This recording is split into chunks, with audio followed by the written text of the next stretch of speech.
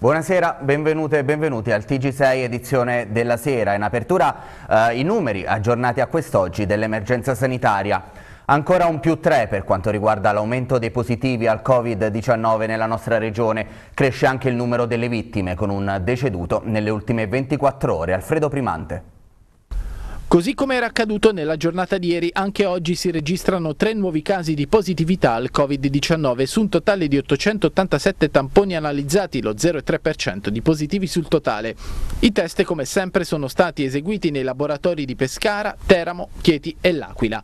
109 sono i pazienti, meno 3 rispetto a ieri, ricoverati in terapia non intensiva, 3 invariato rispetto a ieri in terapia intensiva, mentre gli altri 592, meno 29 rispetto a ieri, sono in isolamento domiciliare domiciliare. Nel numero dei casi positivi sono compresi anche 415 pazienti deceduti, più uno rispetto a ieri. Il decesso di oggi infatti è riferito a una 93enne di Montesilvano. 2136 sono i dimessi guariti, 1994 le persone che hanno risolto i sintomi dell'infezione e sono risultate negative a due test consecutivi. Gli attualmente positivi in Abruzzo, calcolati dunque sottraendo al totale dei positivi il numero dei dimessi guariti e dei deceduti, sono 704 con una diminuzione di 32 unità rispetto a ieri. Complessivamente in Abruzzo dall'inizio dell'emergenza sono stati registrati 3.255 casi di positività al Covid-19. 247 si riferiscono all'ASL Avezzano L'Aquila sul Mona, 824 all'ASL Lanciano Vastochieti, 1526 all'ASL di Pescara e 658 all'ASL di Teramo. Nel loro complesso i test eseguiti sono stati 79.720 di cui 73.412 sono risultati negativi. E a proposito di Covid, dimesso dall'ospedale Mazzini di Teramo l'ultimo paziente guarito dal coronavirus. Dopo tre mesi di estenuante lavoro chiude così la speciale rianimazione Covid del nosocomio teramano. Al Mazzini ora si tira un sospiro di sollievo, ma nessuno abbassa la guardia. Tania Bonici Castelli. Chiude per assenza di pazienti la rianimazione appositamente allestita per i malati di Covid-19 all'ospedale Mazzini di Teramo. Anche l'ultimo paziente affetto da coronavirus è risultato negativo e dunque dimesso. A tutto il personale medico e sanitario del reparto di anestesia e rianimazione del nosocomio teramano va la gratitudine dell'intera città. Dopo aver lavorato per settimane lontani dai propri cari e sostenendo turni di lavoro estenuanti, i rianimatori del Mazzini tirano un sospiro sospiro di sollievo, ma non abbassano la guardia. Il direttore del Dipartimento di Anestesia e Rianimazione, Stefano Minora, ripercorre i mesi appena trascorsi. Qui da noi per fortuna dico, siamo riusciti a chiudere con l'ultimo paziente che si è negativizzato nei giorni scorsi. Eh, siamo felici che siamo arrivati a questo punto per il semplice motivo che eh, era uno stress grande per tutti i colleghi, per gli infermieri, perché eh, i nostri organici non sono così pieni, per cui tutti si sono sacrificati, hanno lavorato a ritmo pieno, eh, mesi senza nessun giorno di ferie e direi che questa, il chiudere intanto per i pazienti ritengo che sia cosa importante e anche per il personale che ci ha lavorato secondo me è, è un bel traguardo raggiunto. I ricoverati in rianimazione Covid al Mazzini di Teramo sono stati 11 e il tasso di mortalità molto basso. Inoltre nessun medico o operatore sanitario del reparto è rimasto contagiato dal virus. Abbiamo avuto una buona sopravvivenza, eh, direi che c'è stato un ottimo risultato, abbiamo avuto una sopravvivenza oltre il 60%, eh, sono, mh, mm, sono risultati importanti perché sicuramente siamo in linea con le le, rianimazioni diciamo, più accreditate anche di altri posti.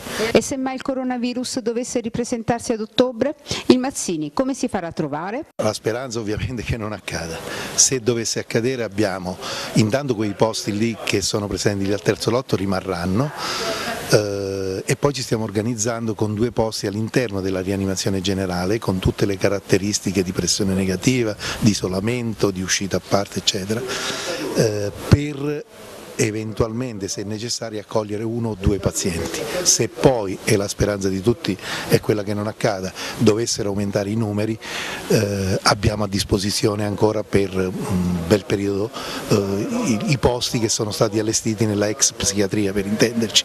Dottor Minora, che insegnamento ci lascia questa pandemia? che non siamo immortali direi, ma lo sapevamo già, però voglio dire, eh, al di là del, del, così, della battuta, eh, secondo me ci ha insegnato che bisogna sempre rimanere coi piedi per terra e, e forse che tante cose futili che, a cui oggi stiamo dietro, eh, insomma c'è da, da ripensarci un attimino.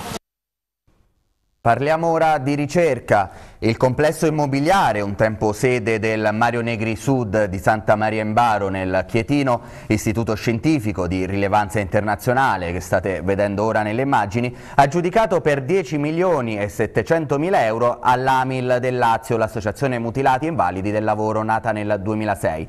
È una ferita che si rimargina per la provincia di Chieti e speriamo possa riportare nel nostro territorio un'esperienza di ricerca di livello internazionale, ha detto il presidente della provincia di Chieti, Mario Pupillo, subito dopo l'apertura delle buste contenenti le offerte. La procedura per la vendita dell'immobile adibito a, a centro di ricerche biomediche e farmacologiche era stata prorogata al 27 maggio a causa dell'emergenza Covid. Le offerte depositate entro quel termine sono state visionate stamane e ad aggiudicarsi la gara è stata l'associazione di promozione sociale presieduta da Osvaldo Travaglini. 10 milioni di euro che entrano nel bilancio della provincia di Chieti e danno una boccata d'ossigeno, oltre che al bilancio dell'ente, al territorio che avrà di nuovo un istituto di ricerche biomediche e farmacologiche. L'attività biomedica e sociale, conclude Pupillo, dovrà continuare a essere un punto d'incontro tra le risorse del territorio e il contesto nazionale e internazionale.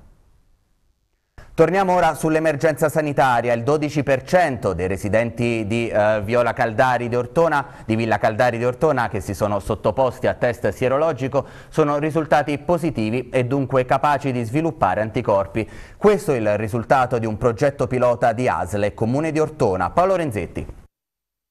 Comune di Ortona è stato protagonista di un progetto pilota nella nostra regione in collaborazione con la ASL di Chieti Lanciano Vasto con l'analisi ehm, test sierologici e tamponi ehm, della ehm, cittadinanza di Villa Caldari di Ortona, ex zona rossa della nostra regione. Cosa è venuto fuori Sindaco? È venuto fuori che il 12% delle persone sottoposte a prelievi è risultato, è, risultati, è risultato positivo, quindi questo significa che ogni 100 persone, 12 sono risultate positive. Questo eh, rafforza la nostra convinzione che era quella che era giusto in quel momento istituire la zona rossa perché abbiamo tutelato sia la salute dei residenti de, di quella frazione di Villa Caldari ma anche tutto il bacino, tutto il territorio perché basta pensare a cosa poteva succedere qualora queste persone fossero andate in giro, quindi probabilmente contagiando anche altre persone. Quindi è stato un progetto pilota come come è stato ben detto, dove il Comune ha impegnato anche un, c'è stato anche un impegno economico da parte del Comune insieme alla ASL e questo ci, eh, ci, ci tranquillizza e ci fa guardare il futuro in un modo migliore.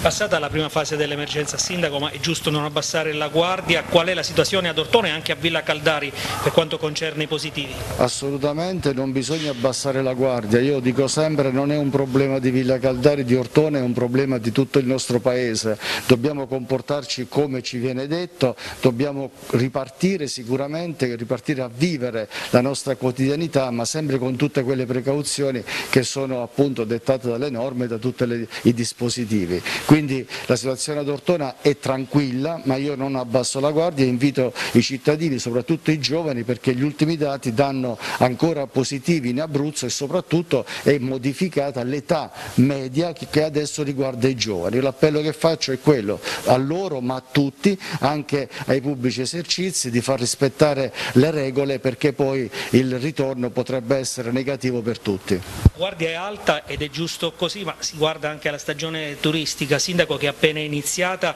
come amministrazione comunale state lavorando comunque per far sì che i turisti che arrivino ad Ortona possano eh, giovare delle bellezze e soprattutto del mare. Certamente, godere delle bellezze, del patrimonio della nostra città, eh, tutto in sicurezza, quindi sa sarà un'estate diversa, un'estate prudente dalle spiagge al centro storico dove ci saranno degli eventi ma sono, saranno eventi contingentati, eventi che si svolgeranno in luoghi ben definiti della, della città dove verranno apposte tutte quelle precauzioni per far godere in sicurezza i vari spettacoli ai turisti. Questa mattina a Roseto degli Abruzzi c'è stata la consegna dei lavori per la realizzazione del porto turistico alla ditta Costruzioni Generali Xodo SRL. Consegnati questa mattina i lavori del nuovo porto turistico di Roseto degli Abruzzi. L'investimento è di 1.700.000 euro del master plan e l'opera dovrebbe essere completata in sei mesi. Meglio tardi che mai, esulta il circolo nautico. Questa struttura che naturalmente è una struttura antica, tra le più antiche della regione e tra le più gloriose della regione per l'organizzazione di gare internazionali e nazionali, di gare di, di motonautica, di, di vela, di pesca eccetera eccetera eh, ha un problema proprio di, di, sua ubicazione fisica, cioè adiacente al fiume Romano, e pertanto risente delle problematiche appunto di questa adiacenza.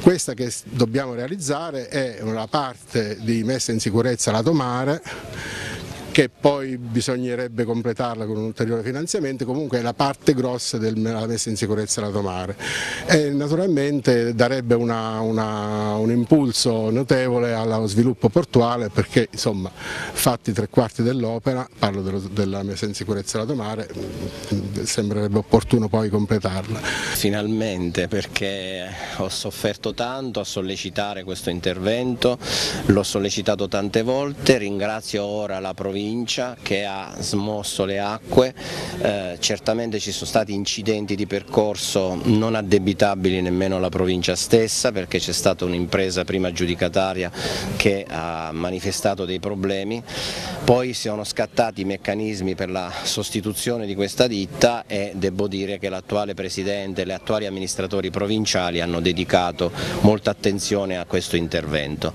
Andiamo a fare questo braccio a mare con 1.700.000 euro euro e oltre dei fondi master plan deliberati a suo tempo dalla Regione Abruzzo, andiamo a creare quindi un bacino che dovrebbe accogliere secondo quelli che sono i propositi che mi sono stati rappresentati i pescatori, storicamente questo è un porticciolo turistico ma accoglie anche i pescatori di Roseto, quindi andiamo a dare un servizio ai pescatori di Roseto e andiamo a, a fare un primo intervento di difesa di questo porticciolo. Le città del mare ecco, sono sono il benessere della nostra provincia di Teramo, ecco, Roseto con il suo porticciolo dopo tanti anni ecco, vedrà un'opera che oramai era quasi ecco, un'illusione, ecco, io sono ecco, sempre per la speranza, ero certo di realizzare quello che non si è realizzato nel tempo perché ecco, oggi non è neanche un problema di soldi, ecco, arrivano i soldi, sapete che è un'opera che doveva, parliamo di 2016-2017, no?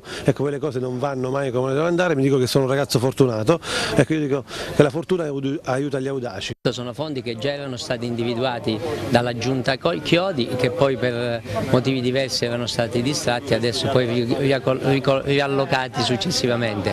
È chiaro che è un intervento che è stato individuato già dal 2016, quindi sono trascorsi già quattro anni, adesso il nostro intento insieme alla provincia è quello di ripartire immediatamente e recuperare il tempo perduto, anche perché questo è un intervento importante che può eh, riqualificare un centro turistico molto importante per la cittadina di Roseto e per tutta la provincia di Teramo. Approvato il bilancio della Fira, la finanziaria della Regione Abruzzo. Numeri positivi in vista del progetto che porterà una fusione con Abruzzo Sviluppo. Intanto in Abruzzo ha ripreso a lavorare il settore dell'automotive. Assessore Febbo, bilancio positivo per la Fira e si continua a lavorare tra l'altro dopo anche la delibera di giunta per la fusione con Abruzzo Sviluppo. Sì, un dato positivo che da anni non si verificava e questo dimostra che insomma, il cambio c'è stato, un cambio importante, un cambio che porterà a questa fusione tra le due società in house che la Regione ha per arrivare fin finalmente ad una finanziaria regionale degna di una banca ai sensi dell'articolo 106, ciò che mancava e ciò che da tempo avevamo eh, scritto anche sul programma prima elettorale e poi di governo per dare una risposta eh, diciamo, al sistema creditizio che purtroppo oggi in Abruzzo non vede una banca con il cervello pensante in Abruzzo.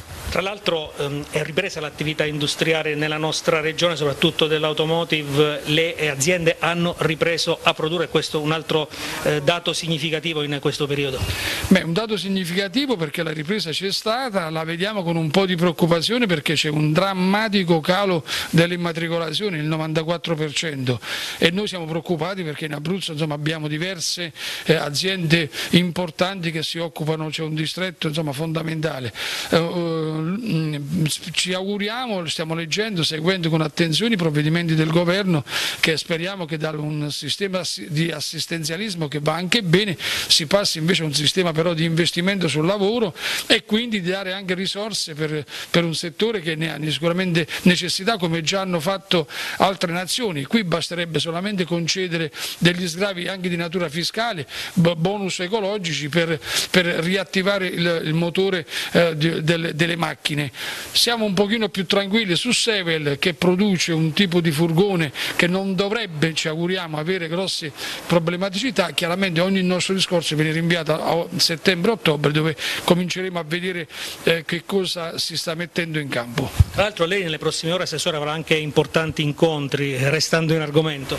Sì, noi ci confrontiamo con le organizzazioni datoriali e sindacali eh, su cui diciamo, eh, c'è, stato un, un, un, un, confronto indiretto tramite, tramite lettere, invece oggi lo facciamo direttamente, noi per spiegare le ragioni che ci hanno visto portare in aula un provvedimento secondo noi eh, urgente e, insomma, vogliamo, su cui vogliamo avere anche la loro condivisione e magari vedere di trovare anche correttivi e suggerimenti che loro ci possono proporre. Mi sembra che però eh, tutto ciò che ci era stato indicato precedentemente sia stato calato almeno con le risorse che avevamo disponibili a 15 giorni fa quando siamo andati in Consiglio. Oggi c'è un confronto serrato con il Governo e con la Comunità Europea che potrebbe mettere in gioco altre risorse ancora più importanti e quindi su questo sono, sono certo che troveremo una via comune di intenti. Il Vescovo dei Marsi, Monsignor Pietro Santoro, ha compiuto 50 anni di sacerdozio, ma la ricorrenza non è stata festeggiata con la comunità eh, a causa eh, del Covid, ovviamente, con la eh, comunità diocesana di Avezzano. Il servizio è a cura di Gioia Chiostri. È stato per me quest'anno un evento che ho vissuto nella preghiera e a livello soprattutto interiore. Causa pandemia ho evitato celebrazioni ufficiali. Gli anniversari vanno tenuti bene a mente, ricordati, annotati nel libro mastro della memoria, ma soprattutto festeggiati. 50 anni fa, il 17 maggio del 1970, il vescovo dei Marzi Pietro Santoro venne ordinato sacerdote per mano di Sua Santità Paolo VI. È stato scelto da Dio il mistero della vocazione e inviato mandato per il popolo di Dio. Il fatto quindi che ho rinviato la celebrazione non è eh, un fatto mondano, chiamiamolo così, è un fatto veramente ecclesiale, profondamente ecclesiale. Eravamo 290 diaconi provenienti da tutto il mondo. Io fui inviato dalla diocesi di Chietivasto. So ovviamente, come tutti sanno, che la diocesi di Avezzano inviò per essere ordinato Don Antonio Salone, che è l'attuale parroco dello Spirito Santo. Quest'anno ricorre il mezzo secolo di missione pastorale, un fratello per tutti, soprattutto per i più deboli, un padre vigile e sempre attento, un prete, un pastore di grande umanità e misericordia. Noi guardavamo il Papa, lo ascoltavamo e aveva gli occhi lucidi, aveva il cuore veramente innamorato dei sacerdoti. La fiammella della spiritualità ha bisogno di bruciare, è vero, ma anche di non assopirsi mai. Fare memoria significa rivivere nell'oggi. Io rivivo ancora oggi la commozione di quella sera, ma la commozione è dovuta soprattutto al fatto di capire che in quel momento lo dico per me, ma per ogni sacerdote, in quel momento eravamo tutti quanti dentro una grande rete, Era, stati, eravamo pescati da Dio, ci siamo lasciati pescare. Andiamo ora a Pescara dove prosegue l'iniziativa SOS Spesa fortemente voluta dal gruppo cittadino dell'UDC con la consegna di pacchi alimentari donati dai cittadini. Vediamo. Un impegno importante da parte dei sostenitori dell'Udc partendo dai giovani, poi i senior e le donne eh, che, si sono, che, si stanno eh, distribuendo equamente. Come accade che noi abbiamo sempre avuto il gruppo ovviamente con il nostro segretario che lavora in smart da casa, le persone sanno di questa attività, mm, si prenotano, noi valutiamo la situazione col modello ISE e quant'altro e poi personalmente io insieme a un volontario vado a casa loro a portargli il pack. Si è mm, suddiviso il nostro lavoro in due momenti, il primo momento durante le l'emergenza Covid. Abbiamo istituito quel numero che voi sapete, che voglio ripetere ancora ai cittadini che ne avessero bisogno della spesa, 085 42 83 464 che ovviamente è il numero del gruppo UDC al comune di Pescara, abbiamo suddiviso in due parti come dicevo prima, la prima era quella di, di fare la spesa a casa delle persone quando c'è stato il lockdown, adesso invece mh, ci siamo resi conto che la situazione è gravissima dal punto di vista alimentare, quindi perché persone che ancora ricevono la cassa integrazione, le 1000 euro della regione che tardano arrivare, il governo che è latitante su tutti gli aspetti, per cui ci siamo messi in moto e abbiamo organizzato appunto questa raccolta di beni. Posso dire che fino adesso sono partiti per le famiglie di Pescara, dico solo Pescara circa 80 pacchi, quindi 80 famiglie sono state ovviamente eh, accontentate. Un'iniziativa lodevole, ma c'è stata anche una risposta importante e esemplare da parte dei pescaresi, perché l'idea dell'UDC che è un'idea che ha fatto sì che tante persone portassero loro, una parte della loro spesa all'interno del nostro carrello per i più poveri. È un UDC in movimento, un continuo movimento, le iniziative che sono state fatte servono anche da sprono agli altri partiti che compongono la maggioranza della nostra città di fare e di fare sempre di più. Questo è un motivo anche di eh, permettere al sindaco e alla nostra amministrazione di puntare su quelle che sono le iniziative necessarie per questa città e per la ripresa. Questa città dopo il periodo di lockdown è una città che veramente fa difficoltà ed è in difficoltà per ripartire. Abbiamo bisogno di un impegno forte in mezzo alla gente e in mezzo ai pescaresi. Questa iniziativa nata in quel periodo brutto, adesso ci troviamo in una fase di ripresa, speriamo che possa essere di esempio per tutti i partiti della maggioranza e per il sindaco di Pescara e per, soprattutto per i nostri cittadini. Cambiamo argomento, una serie di foto nei pressi dell'Arco di San Francesco a Penne per rendere omaggio al duro lavoro degli operatori sanitari e non solo dell'ospedale San Massimo. Il servizio è a cura della redazione di Vestina News. Un poster all'ingresso della città di Penne per rendere omaggio agli operatori sanitari del San Massimo che in prima linea hanno combattuto il Covid-19. Un tributo dovuto a chi in questi mesi ha retto l'impatto violento del Covid-19, mostrando, se mai ce ne fosse stato bisogno, l'importanza dei presidi ospedalieri periferici. Tra le foto anche il sindaco Mario Semproni, prima vittima del Covid e poi in prima fila a combatterlo. Esattamente, questo è uno spazio che normalmente viene occupato da immagini che artisti, fotografi eh, realizzano. In questa occasione invece lo spazio è stato dedicato, eh, in occasione appunto dell'epidemia pandemia Covid a chi ha prestato il proprio eh, operato per eh, salvaguardare la salute dei cittadini dell'intera area vestina e devo però precisare che le immagini che voi vedete non raccolgono tutti quelli che hanno dato la loro opera e che si sono impegnati perché per esempio guardando bene le immagini non trovo i colleghi della rianimazione i quali ovviamente erano così impegnati nel, nel prestare eh, la loro opera di soccorso a queste persone che eh, loro eh, curavano e quindi manca un pezzo fondamentale importante, ma io ci tengo a dire che c'erano e ci sono anche loro. Ecco Sindaco, eh, l'auspicio che presto questa parte di, di mura della, della, città di Penne torni presto ad ospitare fotografie eh, felici che eh, riguardino le bellezze, le bellezze di Penne e della Revestina. Sicuramente questo è il mio sogno, il mio desiderio perché vorrà dire che avremo superato l'emergenza. Però io voglio sempre raccomandare ai cittadini di Penne, ma ai cittadini anche dell'intera area vestina, che queste immagini devono essere immagini che devono ammonire chi invece crede che il Covid sia soltanto così un qualcosa di passaggio già superato ed evita di portare quei presidi che invece sono fondamentali, tipo le mascherine e i guanti. E adesso lo sport, parliamo di calcio, tra poco più di due settimane riparte il campionato di Serie B, anche se il 17 ci sarà il recupero tra Ascoli e Cremonese. Fine della stagione regolare il 1 agosto, finale di ritorno il 20. Tre saranno i turni infrasettimanali, mentre c'è il via libera alle cinque sostituzioni. Il punto nel servizio di Jacopo Forcella. La Serie B riparte nel weekend del 20 e 21 giugno, questa è la decisione dell'Assemblea in videoconferenza di ieri. Dunque ci siamo, tra poco più di due settimane si tornerà sul terreno di gioco per disputare la giornata 29, quella dello scorso 14-15 marzo, mai disputata a causa dell'epidemia Covid che iniziava a farsi strada in maniera tragica nel nostro paese. Dunque all'Adriatico ci sarà Pescara Juve Stabia. La cadetteria però avrà un antipasto mercoledì 17 con il recupero della sesta di ritorno tra Ascoli e Cremonese, gara gara che a fine febbraio non si giocò perché nella cittadina lombarda la situazione era già molto seria. Dieci giornate di stagione regolare in sette settimane con tre turni infrasettimanali, tutti di martedì, il 30 giugno, il 14 luglio e il 28 luglio. Ultima giornata di regular season il 1 agosto, inizio dei playoff il 4 agosto e finale di ritorno il 20. Playout invece il 7 e 14 agosto.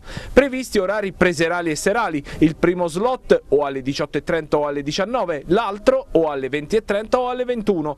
Per quanto riguarda la post season tutto confermato in alto, la prima e la seconda classificata salgono direttamente in Serie A, la terza viene invece determinata mediante la disputa dei playoff che si giocano. Se fra la terza e la quarta non ci sono più di 14 punti di distacco fra le sei squadre arrivate in classifica dal terzo all'ottavo posto. Prima ci sarà il turno preliminare, la gara è di sola andata tra la sesta e la settima e fra la quinta e l'ottava e prevede in caso di parità dopo 90 minuti la disputa dei tempi supplementari supplementari. In caso di ulteriore parità non si disputano i calci di rigore, ma vince la squadra meglio classificata nella regular season e poi via via si va verso la finale del 20. Per quanto concerne l'ultimo atto, le vincenti delle semifinali disputano gare di andata e ritorno, quest'ultima in casa della meglio classificata in campionato. In caso di parità di punteggio dopo 180 minuti si tiene conto della differenza reti nelle due partite, in caso di ulteriore parità viene considerata vincente la squadra meglio posizionata in classifica al termine del campionato. Solo nel caso in cui le due squadre avessero terminato il torneo con lo stesso punteggio in classifica, la gara di ritorno prevederebbe anche i tempi supplementari ed eventualmente i calci di rigore. In basso, retrocesse direttamente in Lega Pro le tre squadre ultime classificate, la quarta viene individuata da due gare di andata e ritorno fra la quartultima e la quintultima se non hanno più di 4 punti di distacco. In questo caso retrocede direttamente anche la quartultima classificata senza la disputa del play-out. In caso di parità dopo i 180 minuti il regolamento regolamento ricalca quello della finale playoff. L'altra vera grande novità, tuttavia, sarà l'apertura alle 5 sostituzioni, via libera come richiesto dalla federazione ai 5 cambi da distribuire in un massimo di 3 momenti durante la gara. E questa era l'ultima notizia, vi ricordo che tutti quanti i servizi sono online sul nostro canale YouTube e sul sito www.tv6.it. Vi ricordo anche l'appuntamento di questa sera alle 21 su TV6 con Velò, la trasmissione sul mondo del ciclismo ideata da Luciano Rabottini e condotta da Jacopo Forcella. E alle 23 poi tornerà l'informazione con l'edizione della notte del TG6. Per ora è tutto, grazie e buon proseguimento.